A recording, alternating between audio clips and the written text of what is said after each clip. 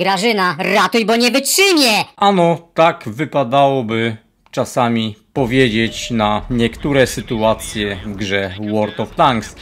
Tutaj akurat w tym materiale nie będę wam nic mówił na temat pojazdów, nie będę wam pokazywał świetnej bitwy. E, szczerze powiem, po, pokażę wam jak nie powinno się grać w grę World of Tanks. Tym bardziej na dziesiątych tierach. Wczoraj miałem taką bitwę właśnie na tej mapie Windstorm i przyjrzyjcie się temu graczowi. Tak jest, no koksu niesamowity, mapa bardzo fajna, szczerze powiem, losowanie również mogłoby być, e, można powiedzieć gorsze, bo mogłyby być same dziesiątki, mogło nam wylosować 3-4 artylerie, aczkolwiek o to nie chodzi w tym wszystkim, tylko chodzi o ten pojazd, chodzi o tego gracza. Zobaczcie, jaką niesamowitą pozycję on przyjął.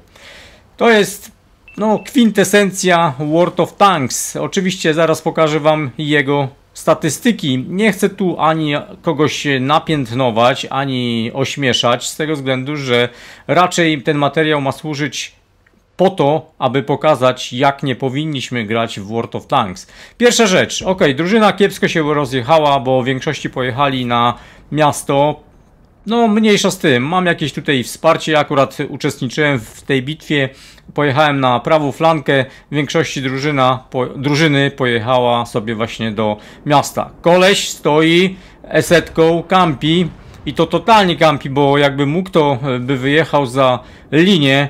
Ja akurat nie mam zbytnio wsparcia. Fakt, pojazd bardzo dobry, bo Super Conqueror spokojnie z przeciwnikiem można powalczyć. Tym bardziej, że na razie jest w miarę spokojnie, ale tak patrzyłem czasami na minimapę, czy ten koleś gra, czy on nie gra i nie byłem pewny, dopiero później jak właśnie jak już mnie zniszczyli, bo niestety akurat tak się stanie, popatrzyłem na kamerę, na właśnie tego typa, co on robił, nie? I słuchajcie, nie uwierzyłem w to, co zobaczyłem. Mało tego, cofnąłem sobie bitwę, obejrzałem powtórkę, I krew mnie zalała, bo czasami my staramy się naprawdę bardzo dużo zrobić, e, a najważniejsze wygrać bitwę. Robimy cuda, nie widy wianki na kiju. Tym bardziej, że słuchajcie, na tej mapie Esetką mógł świetnie zagrać, ale wcale mnie to nie dziwi. Patrząc na jego statystyki, zresztą sami zobaczcie, nie są one za ciekawe. Ja to doskonale rozumiem. Słuchajcie, nikt nie był e, Herkulesem od razu, ale 15 prawie tysięcy bitew, no to mogłoby być zdecydowanie lepiej. Mało tego, słuchajcie, ten gość gra praktycznie cały czas tym samym czołgiem, jest to esetka i patrząc na przykład na jego statystyki tygodniowe, wygląda to tak. No albo słuchaj, kolego, albo po prostu nie potrafisz tym czołgiem grać, zresztą innymi e, też nie potrafisz, bo patrzyłem na inne pojazdy, to jest naprawdę nie lepiej. Albo po prostu jest to bot, ewentualnie jakiś masochista. To jest e, z wczorajszego dnia akurat właśnie statystyka. Zobaczcie, 870 średniego, średnich uszkodzeń. To jest praktycznie prawie jeden strzał na bitwę. I teraz, słuchajcie, ja wcale naprawdę się nie dziwię, że wielu graczy odchodzi od tej gry, czy wielu graczy naprawdę szlak trafia, wręcz frustracja, z tego względu, że czasami takie sytuacje się zdarzają. Mało tego, na koniec tej, tego materiału pokażę Wam coś jeszcze lepszego, to akurat zdarzenie z dzisiaj z tym samym typem na tej samej mapie. Wyobraźcie sobie. Tylko, że akurat już nie miałem siły i na szczęście była bitwa wygrana, bo akurat ta bitwa była przegrana. Gdyby nie ten gościu, znaczy w sumie gdyby mi pomógł, bez problemu mogliśmy tą bitwę wygrać. Wystarczyło, żeby podjechał, nawet przyjął na siebie kilka strzałów i ja bez problemu, bez problemu dałbym sobie radę. Patrzyłem naprawdę ze zdziwieniem na minimapę, co ten koleś robi. Wołałem praktycznie o pomoc, a ani pomocy, ani jakiejkolwiek reakcji. Ktoś mógłby powiedzieć, że słuchajcie, nie, on tam sobie tylko pojechał, stanął, może poszedł na kibel albo coś takiego. Nie, gościu stoi po prostu, snajpi, stoi po prostu czeka. Zobaczcie, rusza wieżą. O, proszę, 785, no w Badgera. Weszło, weszło.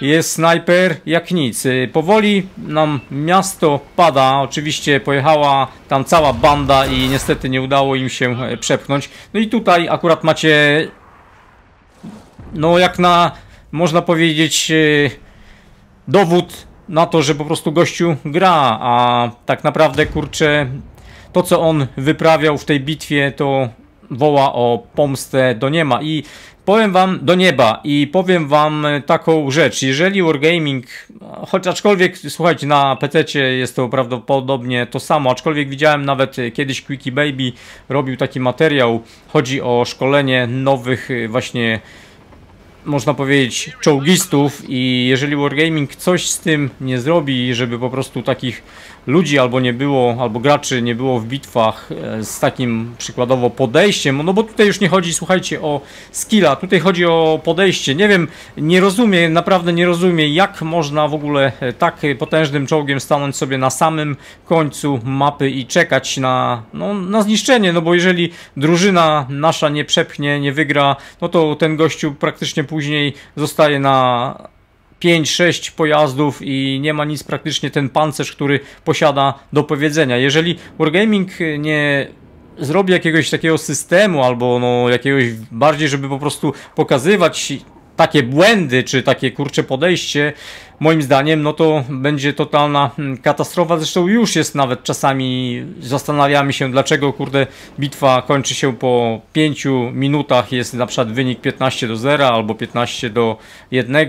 No to właśnie takie są e, sytuacje i nie wiem co byśmy robili, ktoś się e, może tutaj e, zastanawiać, że dlaczego czasami używamy pocisków premium, że mamy, jesteśmy kurczę na minusie, że nie zarabiamy, że to, że tamto. Słuchajcie, ja jak gram e, w tą grę, już naprawdę mam dość sporo bitew rozegranych, ale takiej sytuacji naprawdę nie, niezbyt często e, uda mi, udaje mi się wyłapać, z tego względu, że jest przegrana bitwa, wychodzę, nie chcę się e, denerwować, wsiadam do kolejnego pojazdu i tyle, ale czasami jak nam się uda coś takiego wyłapać, no to ręce i cycki opadają, że tak powiem, bo to jest totalna e, patologia moim zdaniem. I Wargaming powinien coś z takim czymś robić, albo nie wiem, kurde, gościu jak nie przejedzie przynajmniej 5 km za takim pojazdem po, nie powinien dołączać do kolejnej bitwy. No nie wiem, kurczę, no to jest naprawdę totalnie żenujące. Ja rozumiem, słuchajcie, gram na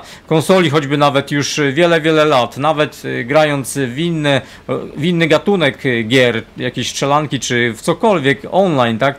No to nie spotkałem się, naprawdę nie spotkałem się czasami z, takim, z takimi nieudolnymi, można powiedzieć, graczami jak właśnie w World of Tanks.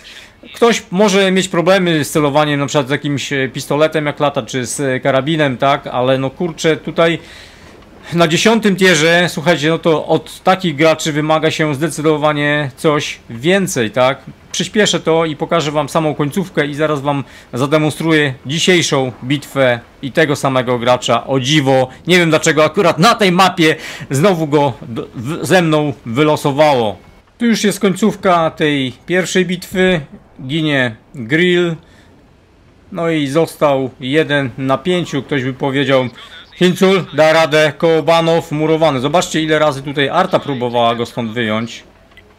I też nie dawała rady. No gość jakby mógł, to by wyjechał za tą linię, za mapę. Najchętniej by się mógł schować. I to jest zastanawiające. Kurde, gościu wczoraj rozegrał tym czołgiem 50 bitew. Kurde, 50 bitew i każda bitwa w ten sposób jak wygląda. Nie wiem, albo to jest bot, albo kurde, trudno mi powiedzieć, jak to w ogóle nazwać, to coś.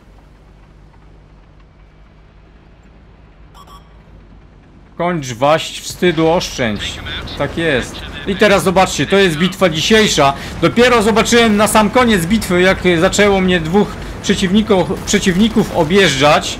Na szczęście bitwa wygrana, sporo zrobiłem. Zobaczcie, co robi koleś. To jest ten sam gościu, nie? Jak tak można? Takiego czegoś nie rozumie, nie?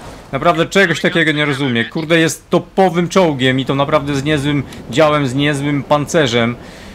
Ech, nie wiem, czy skąd on w ogóle jest, skąd on się e, wyrwał. No bot raczej by tak nie zagrał. Bot mi się wydaje, żeby pojechał do przodu i nawet by go zniszczyli, tak? A no gościu ma zresztą nawet odznaki na lufie, zobaczcie. Pierwsza odznaka wbita, tak więc nie źle.